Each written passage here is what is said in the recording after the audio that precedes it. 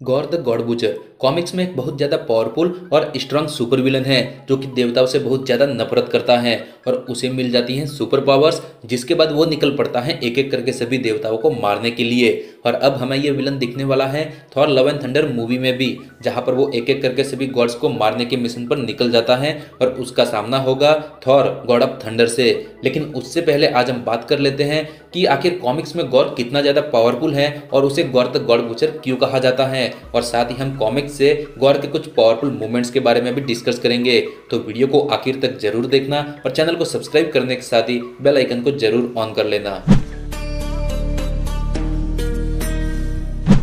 गौर की origin story और उसके पास कौन कौन सी सुपर पावर्स है, इस पर मैंने एक डिटेल्ड वीडियो पहले ही बना रखी है। अगर आपने अब तक वो वीडियो नहीं देखी है तो उस वीडियो की लिंक आपको ऊपर आई बटन और इस वीडियो की एंड स्क्रीन में मिल जाएगी। तो उसे भी आप चेकआउट ज़रूर कर लेना। तो चलिए अब बात करते हैं गौर कितना ज़्यादा पावरफुल है उस बारे में। तो गौर को ऑल ब्लैक द नेक्रोसोड मिलने के बाद गौर बहुत ज़्यादा पावरफुल बन जाता है और वो निकल पड़ता है देवताओं से रिवेंज लेने के लिए और एक एक करके कई पावरफुल और स्ट्रॉन्ग गॉड्स को मार देता है और इतनी बेरहमी के साथ गॉड्स को मारने की वजह से ही उसे गौर तक गॉड बुचर का टाइटल मिलता है। गौर के पास जितनी भी सुपर पावर्स आई हैं, वो इस ऑल ब्लैक द नेक्रोसोड की वजह से आई हैं। यह ऑल ब्लैक द नेक्रोसोड एक तरह का सिम्बियोट है, जो किसी भी तरह की फॉर्म ले सकता है। और गौर के पास ज़्यादातर यह एक स्वर्ड के रूप में रहता है। और अब जानते हैं गौर के कुछ पावरफुल मूवमेंट्स के बारे में। तो जब गौर को पहली बार यह वेपन मिला तो उसने गौर की बॉडी पर एक आर्मर की फॉर्म ले ली, जिसके बाद गौर स्पेस में भी ट्रेवल कर सकता था। इसकी हेल्प से गौर की बॉडी पर एक्स्ट्रा आर्टिफिशियल बॉडी पार्ट भी क्रिएट हो सकते हैं। ऑल ब्लैक की वजह से गौर की स्ट्रेंथ स्पीड स्टेमिना और ड्यूरेबिलिटी बहुत ज़्यादा बढ़ जाती है, जिसकी वजह से गौर गॉड्स को इतनी आसानी से मार पा रहा था। गौर ने कई बार थॉर के साथ फाइट की और उसने अपनी स्वर्ड से थॉर को सात से आठ बार मार भी दिया था, लेकिन अपने इमोर्टल नेचर के चलते थॉर हर बार सर्वाइव कर जाता था। गौर की नेक्रोसोर्ट ब्लैक होल में भी सर्वाइव कर सकती हैं और ब्लैक होल को एब्जॉर्व भी कर सकती हैं और इसकी पावर से वेपन भी क्रिएट कर सकता है गौर। और वह एक लिविंग आर्मी भी क्रिएट कर सकता है, जो इतनी ज़्यादा पावरफुल है कि वर्दी तौर को उन्हें हराने में कई घंटों लग गए थे।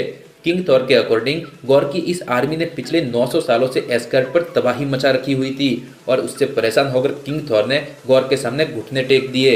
एक बार गौर को पूरी तरह डिस्ट्रॉय भी कर दिया गया था, पर ऑल ब्लैक ने उसे फिर से ज़िंदा कर दिया था। गौर ने गॉड ऑफ़ टॉर्चर को भी टॉर्चर कर दिया था सच उगलवाने के लिए, और यह सारी फिट्स उसकी पावर्स का एक छोटा सा पार्ट है।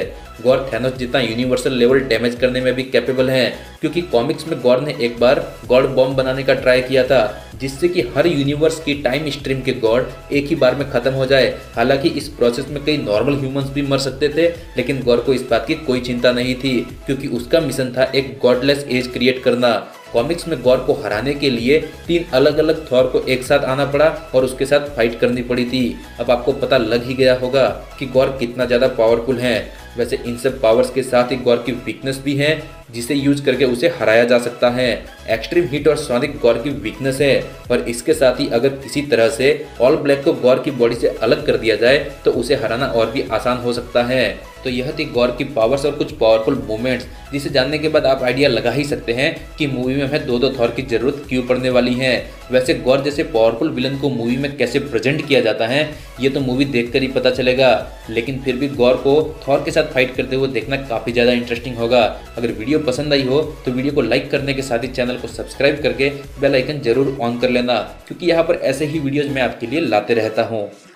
Warriors around, don't get caught in the mosh pit Fuel to the fire, ain't nobody can stop it. Trouble in my city, but you know I'm across it Got a 40 on my hip and I'm liable to spark it. Flow